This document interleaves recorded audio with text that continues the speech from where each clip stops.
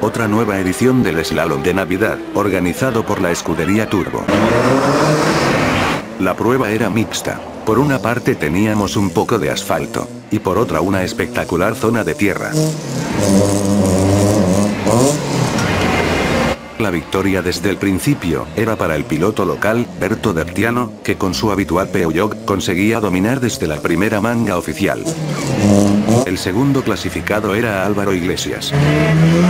El piloto de la escudería Torrelavega, con su Peugeot recién construido y preparado para tierra, conseguía esta excelente posición. La tercera posición era para Javi Aja. El piloto del Opel Corsa, rodaba muy bien en la tierra y conseguía su mejor puesto, de toda la temporada de slalom.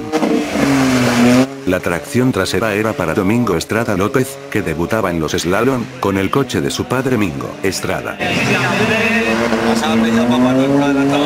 Otro éxito de la escudería Turbo, con este magnífico slalom de Navidad, que ponía el punto y final a la temporada.